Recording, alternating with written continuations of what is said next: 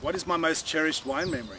Well, there have been many, but I suppose one more recent one stands out, and that's when Kathy and I were sitting on the hill of Hermitage, looking out over the Rhone, uh, real true Shiraz country, and uh, the Northern Rhone at its best. Fantastic day, sitting on La Chapelle, right next to the chapel, um, and uh, calling friends in South Africa saying, we're here sitting on the best uh, of the best terroir around in France.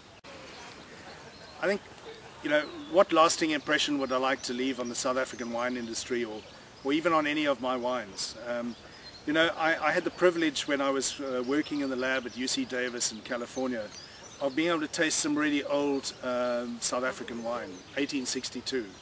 And uh, it was it was that moment, I think, and I still get those sort of spine-chilling uh, um, feelings. It was at that moment I realized, you know, this was history. There was so much that went into making a wine like this that um, uh, when I look back on our own wines and we go through vertical tastings, this year being our 21st year, um, you know, you want to be able to say, I left a legend, mm. uh, but I've done it in a responsible way.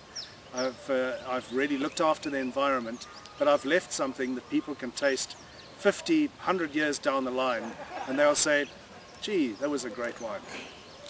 If I wasn't in wine, what would I be doing? Well, you can see my hands, look at the rocks around us. Uh, I was a geologist in my previous life, so I've already, I've already had that other life. But um, I suppose in, in, in many ways, um, what I'm doing now is really what I've always loved to do, uh, grow grapes and make great wines. If I could be a car, any car, what would I want to be? You know, I think it would be quite pretentious to come up with the most, the most uh, powerful car with the, uh, the sportiest red, uh, the blonde at the side, um, etc. I think, in fact, what I'd like to be is a really classic Land Rover. You've got that, you've got all the power that you need. You've got the four-wheel drive. You're close to the ground. I mean, our whole mantra is a synergy between soil and soul, and uh, and you're outdoors. Um, you know, even steering a Land Rover is uh, is a kind of work of art um, you know, changing course uh, is, is amazing. And I think it's one of those kind of vehicles that uh, will take you places that no other vehicle can take you. It's reliable, uh, it's classic, and, uh, and, and I think above all, it's, uh, it's something that's timeless.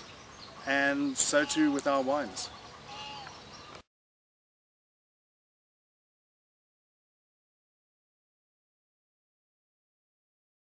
My favorite memory with Gary is um, I remember when we, you know, both of us had previous careers and then we went to California where we studied for two years um, winemaking and then also worked together. And on our return trip to put, put all our experience and our, our knowledge into sort of into, into, perspective, we visited France. And we went to um, Chateau Margaux where we met up with Paul Pontallier and we, the most exciting thing was actually tasting with him from barrel the different vintages of Margaux. So that, I, I, think in a way, it sort of started our career and our excitement of what we were going to be doing on return to South Africa. If, what would Gary excel at if he wasn't in wine? Um, whenever we have an argument, he usually wins. He's, he speaks very well, so I would say he'd be in law. He'd have to be a lawyer or something, something in that in that field, definitely. Hi, we're here with Duimpie Bayly, and Duimpie, we're honouring Gary Jordan today. Uh, what are your particular memories of Gary Jordan, and what do you think he's contributed to the wine industry? Well, I followed uh, Gary's uh, career for a long time. I met them first when they still used to deliver their grapes to Esterfie cellar, which is just next door to me here. And I got to know his parents very well, and then Gary. And eventually Gary wanted to go and study further and uh, he was then married to, to Kathy.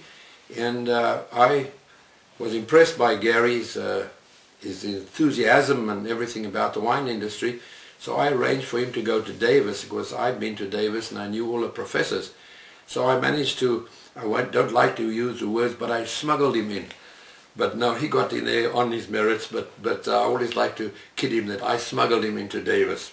And since then, I mean, what he's contributed, uh, especially to, to Chardonnay and, and other wines, is, is, is been tremendous for our industry.